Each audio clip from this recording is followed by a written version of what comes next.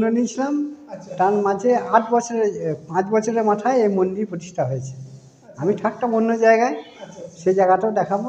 আচ্ছা। তা সেখানে কিছু একটু অসুবিধা হচ্ছিল বলে এখানে নতুন মন্দির প্রতিষ্ঠা করেছি। মহালক্ষ্মী মন্দির ইনি মহালক্ষ্মী। নমস্কার বন্ধুরা আমি মুখার্জি ব্লগ। মুখার্জি ব্লগের পক্ষ থেকে আমার সকল দর্শক বন্ধুকে স্বাগত জানাই। আশা করি ভালো আছেন সুস্থ আছেন। আজ আমি এসছি পূর্ব বর্ধমান জেলার গুসকোড়ার কাছে রায় রামচন্দ্রপুর সবুজে ঘেরা ছোট্ট একটা গ্রামে। এখানেই রয়েছে এক অজানা তন্ত্র সাধন পীঠ। তবে অনেকেই মহালক্ষ্মী আশ্রমও বলে থাকে। তবে মহালক্ষ্মী আশ্রম বললে হয়তো অনেকে চিনতেও পারবে না। কিন্তু যদি বলেন মৌনী বাবার আশ্রম, তাহলে এক কথায় চিনে যাবে। মৌনী বাবা, অর্থাৎ যিনি চোদ্দ বছর মৌন ছিলেন। সেই জন্যই নাম হয় মৌনী বাবা। তো এই মৌনী বাবার আশ্রম কীভাবে আসবেন? এই আশ্রম কখন খোলে, কখন বন্ধ হয়? এই সব কিছুই থাকছে আমার এই প্রতিবেদনে। তাই এই প্রতিবেদনটি দেখুন, আশা করি ভালো লাগবে। আর ভালো লাগলে লাইক করবেন, বন্ধুদের সাথে শেয়ার করবেন, কমেন্ট করবেন এবং সাবস্ক্রাইব করবেন। আর নোটিফিকেশনের জন্য বেল আইকনটা টিপবেন। তো ফাইনালি পৌঁছে গেলাম মৌনী বাবার আশ্রম। এই আশ্রমের অত জাঁকজমকপূর্ণ নয়। এই আশ্রম অত জৌলুস নেই। এই আশ্রমের হয়তো অত ভক্ত শিষ্যদের সমাগম নেই। কিন্তু এই আশ্রম একদম শান্তি, নিরিবিলি সবুজে ঘেরা একটা গ্রাম্য পরিবেশ। সামনেই দেখতে পাচ্ছেন মাটির ঘর, খড়ের চাল। তবে মূল মন্দিরটি কিন্তু পাকা, অর্থাৎ সিমেন্টের, এবং মন্দিরটি খুবই উঁচু। তো মন্দিরের গর্ভগৃহের বেদিতে মাঝখানে আছেন মহালক্ষ্মী। আর এদিকে বগরামুখী আর এখানে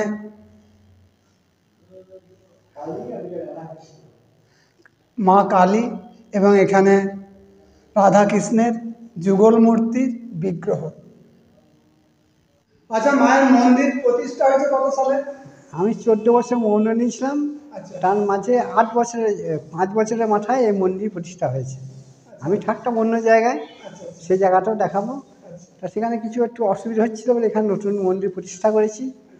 মহালক্ষ্মী মন্দির ইনি মহালক্ষ্মী।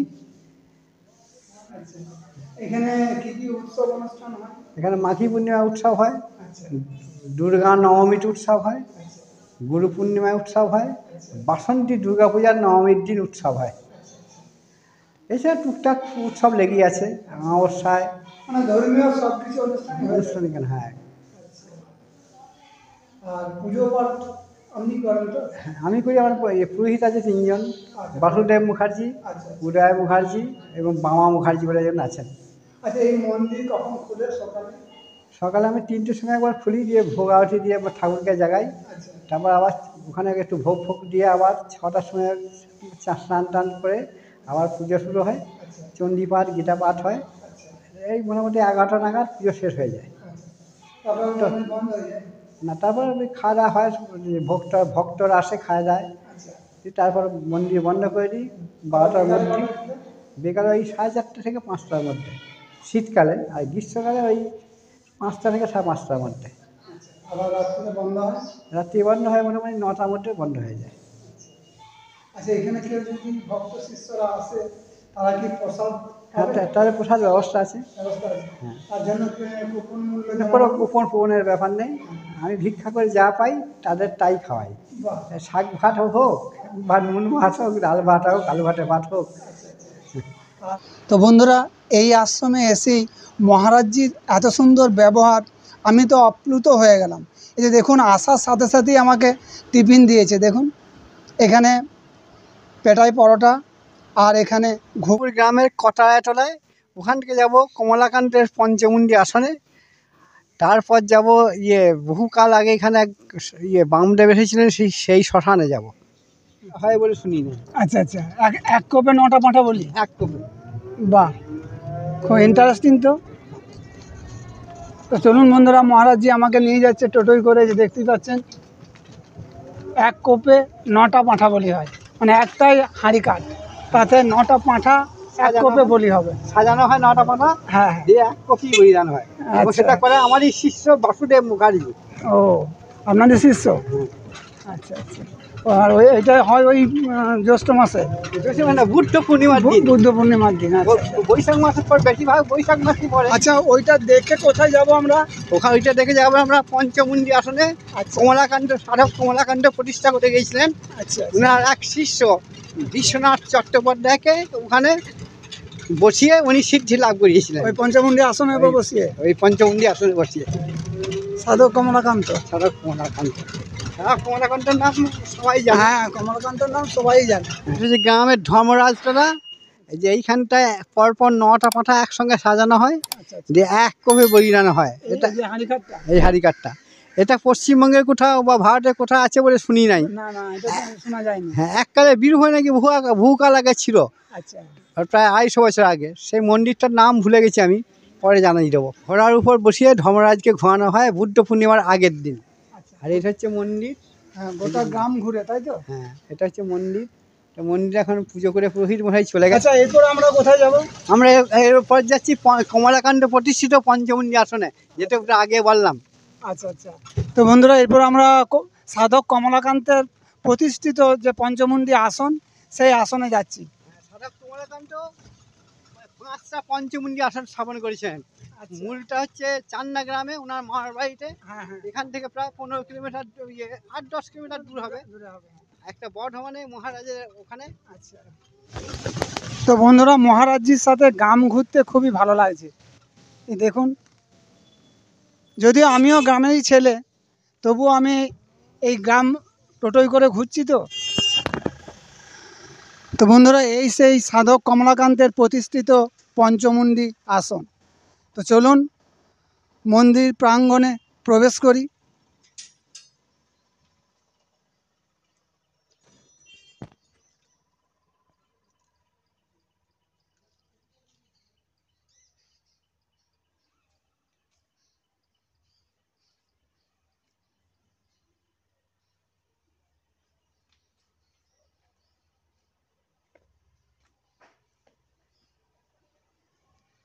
মহারাজজি আমাকে সব ঘুরিয়ে ঘুরিয়ে দেখাচ্ছে।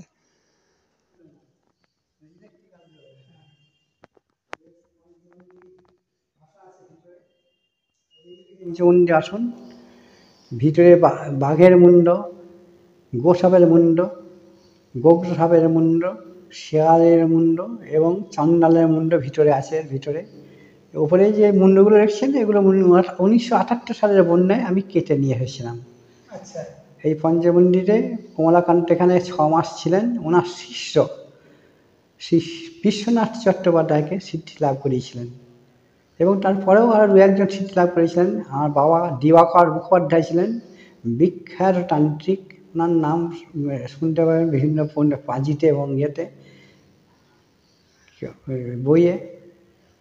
এই নরমুণ্ডগুলো পেয়েছেন কোথায়? এগুলো উনিশশো আটাত্তর সালের বন্যায় আমি নিজে কেটে এনেছিলাম তো এই যখন কাটছিলেন তখন হাত কাঁপেনি আপনার? না আমার দাদা ছিলেন বিশ্বনাথ চট্টোপাধ্যায় মুখোপাধ্যায়। আমার আচ্ছা। দাদা বিশ্বনাথ মুখোপাধ্যায়। আগে যে বললাম উনি ছিলেন বিশ্বনাথ চট্টোপাধ্যায়। হ্যাঁ। উনি সিদ্ধি লাভ করেছিলেন। আমার দাদা ছিলেন দিবাকর মুখোপাধ্যায়ের পুত্র। আচ্ছা। বিশ্বনাথ মুখোপাধ্যায় আমাকে একটা কবচ দিয়ে দিয়েছিলেন। আচ্ছা। তার ফলে আমার কোনো ভয় টয় লাগেনি। কোনো ভয় লাগে না না। আর তারপর মানে ঘর থেকে মুন্ডটা আলাদা করলেন? হ্যাঁ সব মরে গেছিল। এছাড়াও ক্ষীয়র চক্কর বলে একজন লাভ করেছিলেন। আমার বাবা দিবাকর মুখোপাধ্যায় এখানে দীর্ঘদিন সাধনা করেছিলেন। আচ্ছা। আমার দ্বারা বিশ্বনাথ মুখোপাধ্যায় সাধনা করেছিলেন। এখন আমার মেজদা আশিস মুখোপাধ্যায় এখানে সাধনা করছেন এবং তিনিও উন্নত উন্নত মানের সাধক এবং কোন নীলোভ মানুষ। আচ্ছা। ইনকাম ট্যাক্সে বোধহয় সম্ভবত শেষকালে ইন্সপেক্টর বা অফিসার হয়েছিলেন কিন্তু কোনো জীবনে কোনো ঘুষ খাননি। আপনিও তো এই পঞ্চমন্ডি আসনে বসে সাধনায় সিদ্ধি লাভ করেছেন? সিট লাভ করেছি কিনা বলতে পারব না মাঝে মাঝে আসি বসি তো মহারাজ এখন আমরা কোথায় যাচ্ছি? আমরা একটু দূরে যাচ্ছি একশো একশো আট মন্দিরে। আচ্ছা। যেখানে যিনি সাধক ছিলেন তিনি সাধনা করেছেন আর কেউ ঢুকতে পারেননি। আচ্ছা। আমার বাবা একবার গিয়েছিলেন ওখানে কয়েকবারই গিয়েছিলেন সাধনা করেছিলেন। আচ্ছা। এবং আমি দু দু তিনবার সাধনা করেছিলাম ওখানে। এখন একটু ওনাকে দেখানোর জন্য নিয়ে যাচ্ছি কিন্তু ভিতরে ঢোকানো যাবে না। আচ্ছা আচ্ছা। ভিতরে ঢোকা যাবে না অ- নানা রকম বিধি নিষেধ আছে। আচ্ছা। ভোরে ভোরে একবার ধূপ ধুনো দেখানো হয় এখানে মূল পুজো হচ্ছে রাতে। আচ্ছা। হ্যাঁ। অমাবস্যার দিন পুজো হয়? সাথে প্রায় ডেলি তিন দু- দুবার না তিনবার পুজো হয়। আচ্ছা। তিনবারই পুজো। আর দীপান্বিত অমাবস্যায়? তিনবার বিশেষ বিশেষ পুজো হয় ওই দিনই পঞ্চমাকারে পুজো হয় আর কি। আচ্ছা আচ্ছা। এবং এখানে ইয়ে সহজে কেউ ঢুকতে পারে না। দিনের বেলাটাও ভয় খায় সবাই। হ্যাঁ অন্য বহু লোক এখানে বহু কিছু দর্শন করেছেন। এবং মহাদেবীকেও দর্শন করেছেন। ধ্যান করে বসে। হ্যাঁ। সে কিছু পাবেই। পাবে। আচ্ছা আচ্ছা পনেরো দিন ধ্যান করতে হবে। পঞ্চমী হলে তবে আমার আমাদের অনুমতি নিতে হবে। আচ্ছা আচ্ছা আমার- অনুমতি নিয়ে হ্যাঁ, আমার দাদা আশিস মুখার্জির অনুমতি নিতে হবে। আচ্ছা। তিনি যদি অনুমতি দেন তবে হবে নইলে কিন্তু হবে না। হ্যাঁ আচ্ছা আচ্ছা।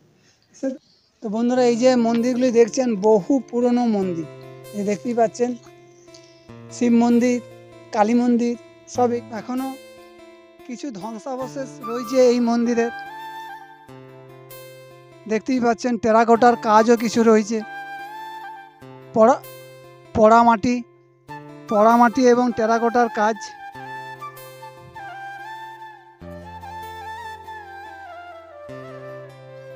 কিন্তু সবই ধ্বংসের পথে। এই যে আসনটা দেখছেন এটা একশো আট বুন্দি আসন। মানে ওই যে তাল গাছগুলো রয়েছে ওখানে কেউ আজ পর্যন্ত কেউ টিকতে পারেনি। আমার বাবা একবার দু চারবার জব করেছিলেন আমি দু চারবার করেছিলাম। আর যেই এসেছেন বাইরে থেকে আসার পরই বাইরে থেকে দেখেই আর কি পুজো টুজো করার পরই তার পারবেন না। ওনাদের বংশের লোককে দেখুন। এই যে ওনাদের কেউ না থাকলে এখানে আসা কারও সম্ভব নয় ওনাদের কাউকে নিয়ে আসতে কাউকে আসতে হবে। এবং আমি যতবার এসেছি তত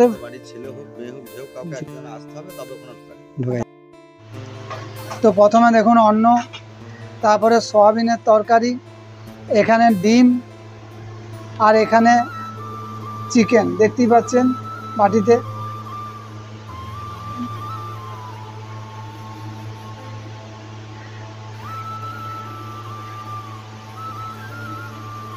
মাসে এখানে কাজ করো নাকি? আচ্ছা এই তন্ত্র সাধনার আগে আপনি কি করতেন? টনটন আগামী কলকাতায় দু একটা স্কুলের টিচারই করেছি Green Park school Park Day school এবং টিউশনি করেছি। সাধনা কি লাভ হয়? টনটন সং মহাকালীকে লাভ হয়। ইয়ে ইয়ে, বিষ্ণু মহাবিষ্ণু মহালক্ষ্মীকে লাভ হয়। শিব এবং দুর্গাকে লাভ হয়। এবং পরম আনন্দ পাওয়া যায়, যে আনন্দ প্রকাশ করা যাবে না? এসব পেট সাধনা, যক্ষিণ সাধনা কর্ণপিসাজি সাধনা, এসব না করাই ভালো। ক্ষমতা পাওয়া যায়, টাকা পাওয়া যায়, যশ, সম্মান, সুন্দর সুন্দর মহিলা মহিলা পাওয়া যায়। আমি নাম করছি না অমুক নায়িকা। সে যদি কোনো যদি ইয়ে যক্ষী সাধনা করে বা বেটার সাধনা করে এ তাকেও টেনে নিয়ে আসতে পারে এক রাতের মধ্যে। এনে আনতে পারে কিন্তু এসব সাধনা ঠিক নয়। ঠিক নয়। আচ্ছা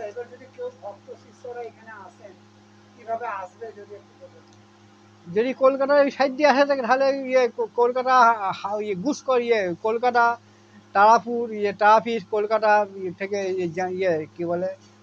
জায়গাটার নাম কি? মালদহ ট্রেন যাচ্ছে, এসব ট্রেনে গুসকর স্টেশনে নামবে বা কলকাতা থেকে বর্ধমান, বহু স্টেশন আছে। বর্ধমান থেকে বাসে বা ট্রেনে আসতে পারে গুসকর স্টেশন।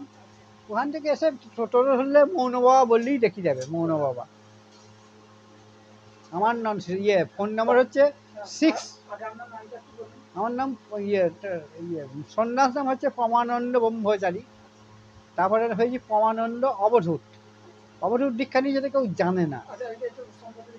অবধূত দীক্ষা হচ্ছে প্রথমে একবার দীক্ষা হয়, তারপরে আবার দীক্ষা হয় শাক্তাভিষেক বলে একটা দীক্ষা তারপরে পুনাভিষেক পুনাভিষেকটা আমার মায়ের কাছেই নিয়েছিলাম।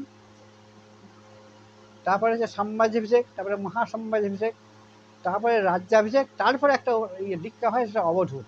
এছাড়া আর একটা পথ আছে, সেটা হচ্ছে কুমদীক্ষা পরপর কালী টাটা দশম ভবন আছে, পরপর এক একটা সিদ্ধি লাভ করতে হয়।